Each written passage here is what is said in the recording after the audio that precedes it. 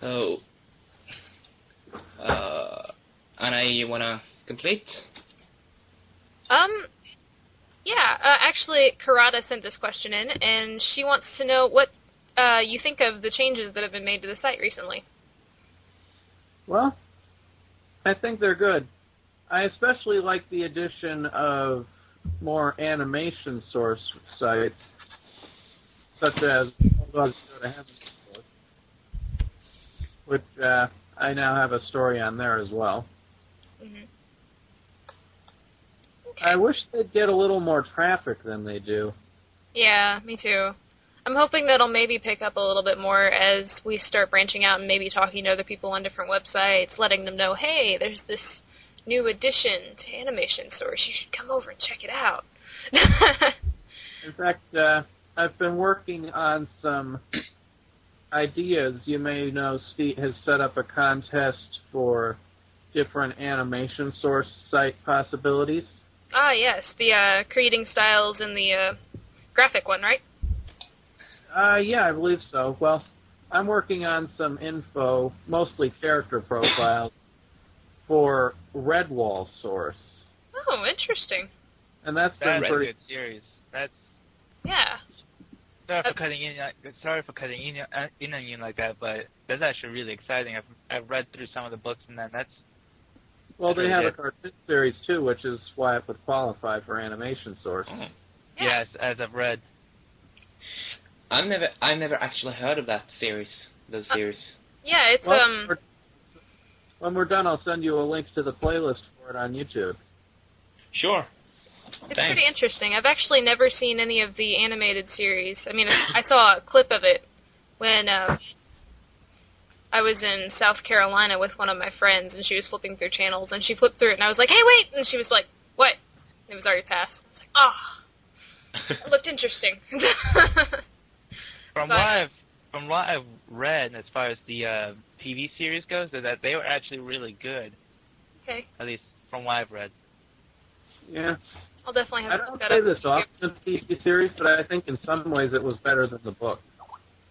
Oh, well, that definitely makes me interested now because I love the books.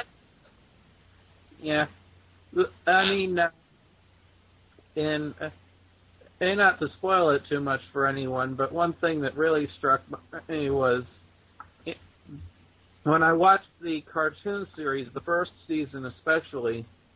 There's a relationship between two characters, Matthias and Cornflower, hmm and in the series, it was really entertaining to watch as initially they didn't really connect that well. A lot of times you would, there was some friendly talk, yeah, but a lot of times they'd, they, you'd see their personalities bouncing off each other. It was like Cornflower didn't know whether to hug him or hurt him. That'll be Ouch. interesting to see.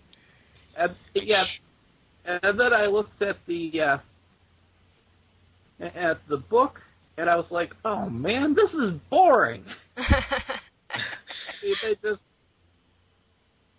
yeah, it was just like, yeah, they're in love, big deal. Yeah, well, I suppose sometimes even animated uh, deriv- uh, derivations of um, books and comics might surpass the original project product Mhm. in some ways. So, All right, then Yeah. I had one extra question. Um, do you have any recommended reading for anybody out there in the audience? Well, Chronicles of Narnia comes to mind, Okay. and also a bit more recent on the literary field is a series called Dragons in Our Midst. Okay. Cool. hmm. I have I have read a little bit of the Narnia series. Haven't read it. Didn't actually get to finish it because uh, when I started reading this series, it was in fourth grade, I think, and uh, we read The Lion, the Witch, and the Wardrobe as a class sort of project. And then we were going to read the next one, but we had a substitute for a week, and it put us way behind. So our teacher was just like, "No, we're just going to skip on to the next subject." Ah, bummer. Aww. Bummer. The so uh, as far as yeah, I've never actually read the books. I've actually I've only actually seen the movies, but because of the movies, I want to read the books. And I actually really like the second movie. yeah, Yeah. I, I really recommend uh, reading the books. They're great. Okay. Well, any last thoughts, comments, or questions for us? Hmm, None that come to mind. All right. Well, thanks. It's been great having you here with us on Sourcecast. Thank you. All righty. Maybe. Yay! It did. Okay. All right. So, what were you going to add on, DT? Well, one other thing about my writing, aside from methodology and all that, I really think it's just God at work. I mean, more than anything else, I think my writing is a gift from Him, and I've been told that by a lot of people.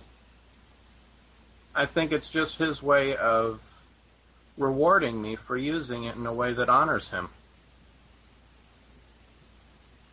Because more than anything else, the things I put in my stories are not just classic elements or classic virtues.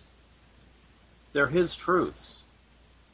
Maybe not as directly communicated as what has been done in some other stories, and certainly not with as much skill as some other writers like C.S. Lewis, who I mentioned elsewhere, have done. But like they say, it's the effort that counts. Yeah. Yeah. pretty pretty much like- as long as you're trying, it counts. Yeah. Alrighty. Was that it? Yeah, basically. Okay.